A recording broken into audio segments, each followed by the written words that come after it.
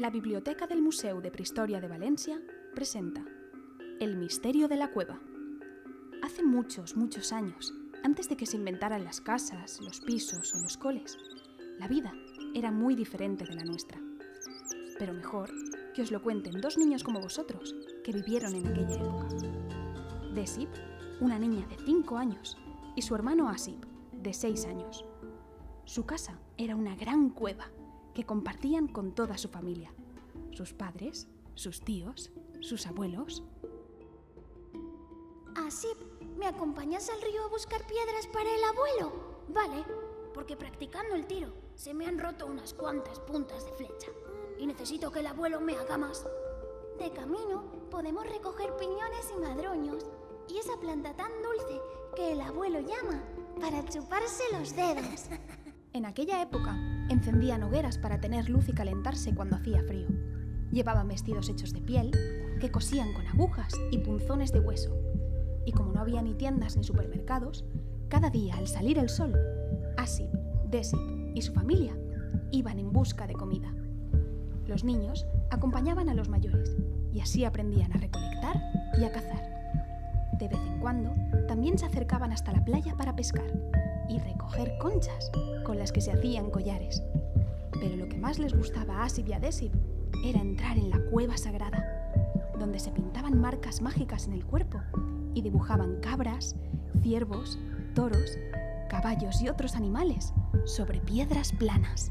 Una noche, Asip no podía dormirse porque había escuchado un ruido muy extraño.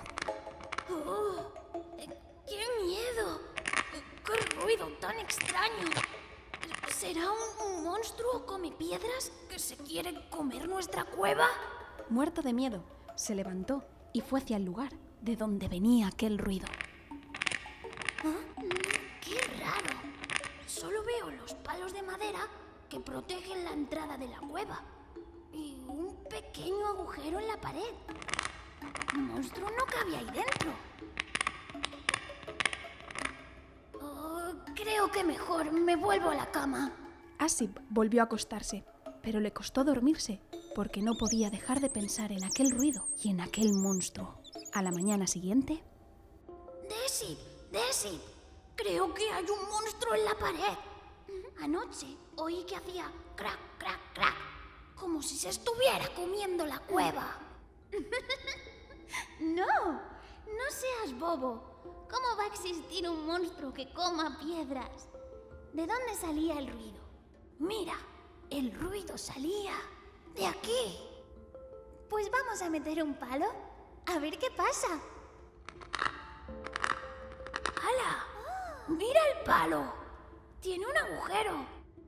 Lo volveré a meter ahí, a ver si sale el monstruo.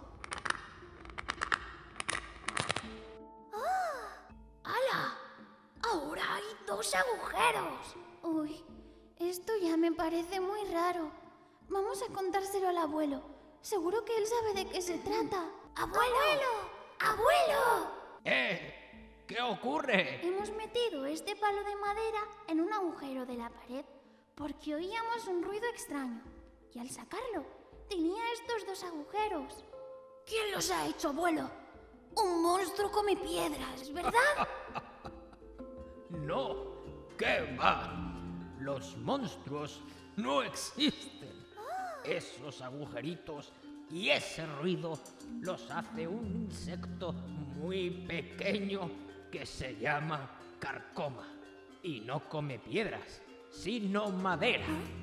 Jo, abuelo, con tantas cosas que nos cuentas y nunca nos habías hablado de la carco... car... bueno, sobre ese insecto. Carcoma. Se llama carcoma.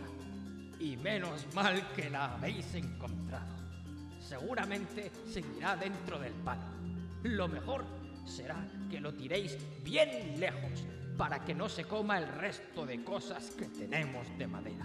Si no, nos quedaremos sin lanzas, sin palos para encender fuego, sin la leña para calentarnos, con el frío que hace en invierno. No te preocupes, abuelo. Lo voy a lanzar muy lejos. Y así fue, como Asip y Desip salvaron a la familia de aquel insecto comedor de madera. Si queréis descubrir más historias como esta, podéis venir a la biblioteca del Museo de Prehistoria y disfrutar de un montón de libros con los que aprenderéis muchas cosas sobre prehistoria. Además, os los podréis llevar a casa. Venid pronto, porque mil y aventuras os están esperando.